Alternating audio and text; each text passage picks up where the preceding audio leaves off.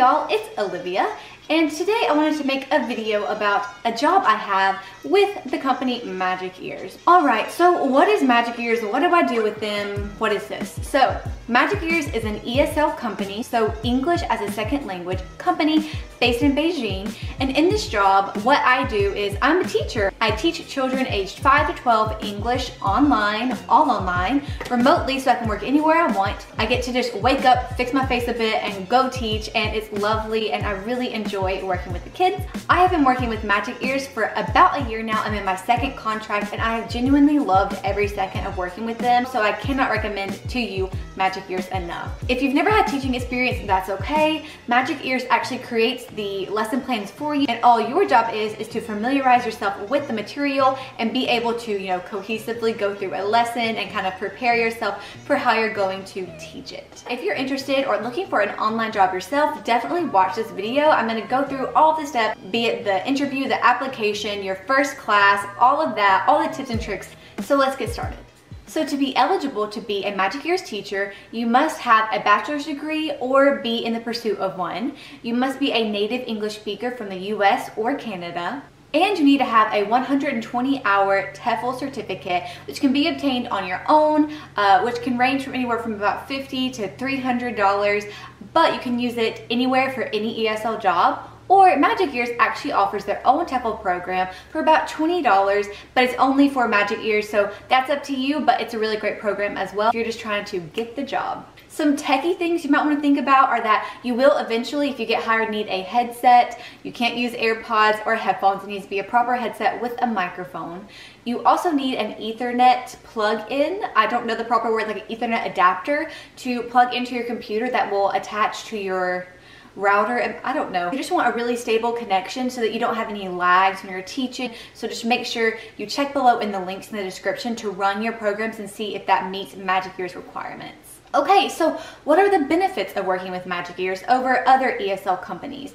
The thing I really like, first of all, is that they book classes for you and you don't have to market yourself. Magic Ears uses their own system that books your classes and I rarely ever had a class that I've opened up my availability that didn't get booked. Another huge thing is you can teach anywhere in the world. As long as you can be available in the times Magic Ears has classes, then you can be anywhere. You've got the stable connection, you've got a laptop, and you've got time, then you can work anywhere in the world, which is really appealing. Another thing is they offer free training programs. You can constantly work on your teaching methods and your teaching skills. When I've attended the trainings, the trainers are super receptive and will answer any questions you may have, whether that be related to the specific topic they're talking about or just Magic Ears as a whole. So it's a really great community to be involved in as an employee. So Magic Ears advertises an hourly rate between $18 and $26, but realistically you get about $9 or $13 per class, and since each class is only 25 minutes, you can work two classes in one hour. But again, your wage is based on your base pay, your performance, and your ranking, so there's a lot of variability there. I kind of broke this down here, so your base pay is just based on your credentials. Whether you're new to Magic Ears, if you're a junior, a senior, or a Magic Ears master, that will affect your base pay. And then participation. If you arrive to each class about three minutes early, then you get an extra dollar per class. And that's not to mention the standby classes. So if a class is open and you didn't sign up for it, but maybe they need teachers because some people have canceled, there will be standby options and you get a bonus for doing standby classes. So there's a lot of room here to make extra bonus cash on the side. Taxes are a bit odd though. Um, I'll put a guide to the IRS for Americans down below on how you will file taxes for working with Magic Ears. Another benefit is you get a success coach that you will have for the duration of your contract.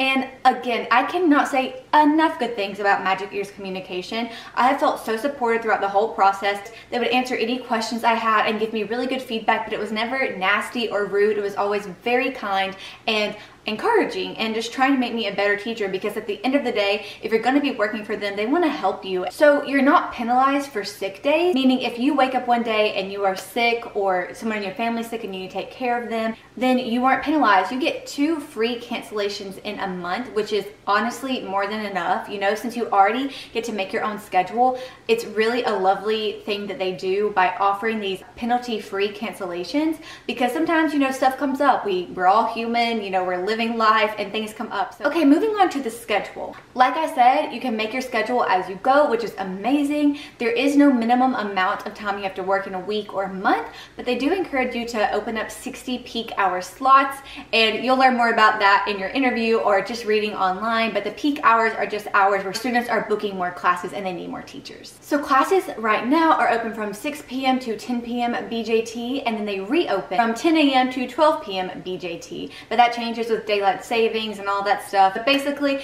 if you're in the US and you're in like CST time zone like me, you're teaching pretty early in the morning and relatively late at night. So that can be really great for you people who maybe have a daytime job or your day's full with other tasks. It's a really nice schedule. So let me walk you through the application. First of all, you obviously just apply online, you submit your own application. And also if you're interested, please check in my description box for my referral code and apply through that link. And once you've done that, you will then be scheduled for your live demo or your recorded demo slash your interview. So you do have the option to record your demo, though I highly recommend you do it live because you can receive feedback right after. It's a lot quicker. And I think that just shows a little bit more initiative on your end. But then again, if you're really busy and the recorded demo works for you, do that. So if that doesn't go well, you can try again in about 90 days, but if it does go well, then you will be scheduled for your training. And so what they're gonna do is they're gonna talk you through all the Magic Ears policies, uh, tips and tricks, and get you prepared for what's next, which is your trial class. Your trial class is a real class with real students. You are going to be just like a Magic Ears teacher, but what they do here is they just see how you do in the environment and they see how you engage with the students and how you interact. You're not expected to be perfect. Sometimes you'll be asked to teach a second trial class, but this is no big deal. Don't be nervous about that. They just might want to see you interact a bit more. And then after that, you will be either giving an offer to work or you can try again in 90 days, where then it's really easy breezy. You just have to pass a background check, give them a bit of information about you, and they, they do the background check. It's nothing that you have to do. And then you'll be given a contract and you sign. And it's a six month contract and bada bing, bada boom, you're ready to teach. They monitor your first 10 classes. They give you feedback, which is really, really helpful. As a new teacher, a lot of you may not have had teaching experience before. So they always get back with you and say, hey, this was awesome. Or hey, maybe try this. It's always really encouraging feedback and something that I think is great in those first few classes you're teaching. So now I'm gonna kind of step back and give you some tips I have for all the interview process, application process, your first class, all that type of thing. Just because I know when I was interviewing and doing all this for the first time, I was so nervous. So sit back, let me, let me ease your mind. So definitely just prepare. Figure out what types of questions, you know, why do you want to teach? Why do you want to work with magic ears? You know, what excites you about this? No answers to those types of questions, no about your education background, and just tell a little bit about yourself. But when we get to the trial class, you definitely want to know that Magic Ears really likes if you have two props. In fact, they highly encourage it. So try and check out that class before time, find something around your house that relates to the class and use that because number one, it helps you with the class. The kids love when you have props, you know, makes excited and it will really impress Magic Ears. I will link uh, down below from ESL Authority. They have this great blog about props that Magic Ears like, so I'll link that below if you need some inspiration. Make sure to speak slowly and use words the kids will know. You know, don't be really wordy and be like, hi, hello, hello. You know, really be patient, let them respond to you before you move on, and don't use a lot of flashy language. Remember, they are learning English, so definitely try and tone down and use easy words and words that are very clear. Smile a lot and don't be afraid to correct errors. You know, you are there as a teacher. Be polite, but also make sure that they are actually learning. Try and think of your transition phrases for each slide. So, you know, maybe you're moving on to the next slide. Don't just be silent, but kind of be like, all right, guys, let's move on. Or great job, let's see what's next. And make sure you kind of have that stuff prepared so you don't stutter or have any awkward silent pauses. And overall, just remember you're teaching kids. Make it fun and exciting for them and it'll be a lot easier for you as a teacher as well. So there are three bottom lines that Magic Ears talks about all the time, and this is something you should never forget. It's the three most important things you should take away from this video, and that is teaching with passion, class progress, and zero noise policy. So I'll break that down for you and tell you what exactly those three things mean. So teaching with passion. Something that Magic Ears will introduce to you is TPR, which is the total physical response, meaning use your body language, use your hands. When you want to teach them a word, put your hand here. So you might say, Well, for instance, my class this morning was bucket. We're talking about the beach. So you might want to say bucket. And after you repeat it and you want to hear it from them, you'll say the word and you'll do to your ear. They'll know to repeat it back to you. So this kind of hand gestures and you know remember you're in a screen about this big and you want to make sure they can see your movement and know what you're asking them to do. Class progress. The first three minutes are dedicated to your introductions, getting ready, you know, welcoming them to the class. And then you keep that pretty short and you wanna go ahead and move on to the presentation and games. And this is the bulk of the lesson. It's about 15 to 18 minutes of your 25 minutes.